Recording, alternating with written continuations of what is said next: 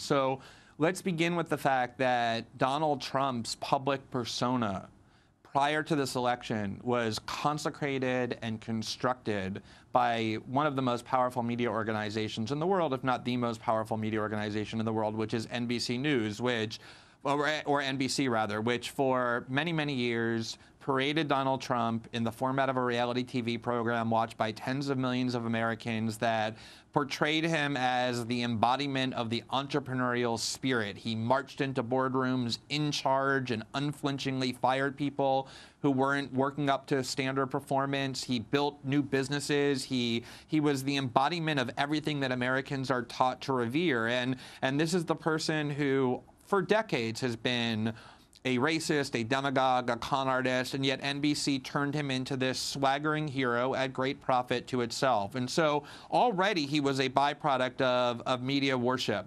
And then once the campaign began, the media, as you said, nonstop fed on Donald Trump to the exclusion certainly first and foremost to Bernie Sanders, but even to the other candidates who got far less TV time than Trump did because he was a ratings goldmine. And, and they would literally wait on the tarmac and excitingly and breath, breathlessly um, show his plane about to land. And this built up this image on, in Americans' minds that Donald Trump was this all consuming, towering new presence on the American political landscape. And the American media did a, a critical job in building him up during the primary and entrenching in the minds of Americans that he was not this out of the norm, radical, extremist, dangerous, racist, authoritarian that he was, but instead was this new and powerful figure who was going to come and revolutionize American politics and the American political culture that so many citizens of the United States have come to despise.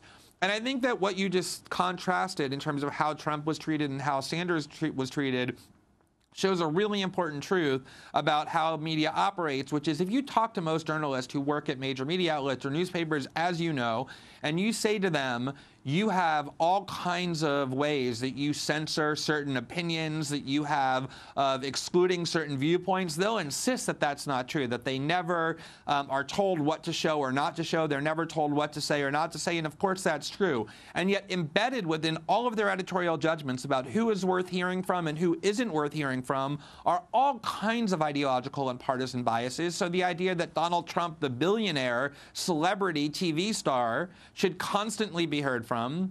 Whereas Bernie Sanders, the old Jewish socialist from Vermont, who nobody took seriously, doesn't need to be heard from with all of his um, boring speeches about college debt and and um, healthcare and the like. In that choice is a very strong and pedantic ideological choice that the American media embraced and played a huge role um, in enabling Trump to march to the primary. Now, the only other point I want to add to this media issue is that I do think that media behavior changed fundamentally with regard to Donald Trump once he became the nominee. So you have the primary period where they treated him like a normal candidate, they, they revered him, they gave him endless free TV time.